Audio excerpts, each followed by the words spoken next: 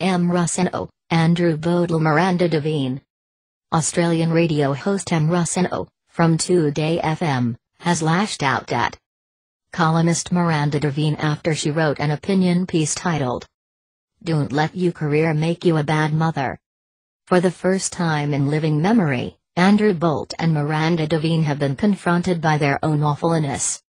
The pair dissolved into a spectacular spat over whether or not Tony Abbott could return to lead the Liberal Party during a radio interview on Monday night, and it's truly a case of bad meets worse.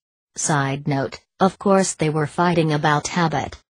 Devine is filling in for Steve Price at the moment while he shares his token air of low-key misogyny with the South African jungle, a May celebrity. So on Monday night when Bolt called in for his regular 8 p.m. segment, he spoke to Devine instead.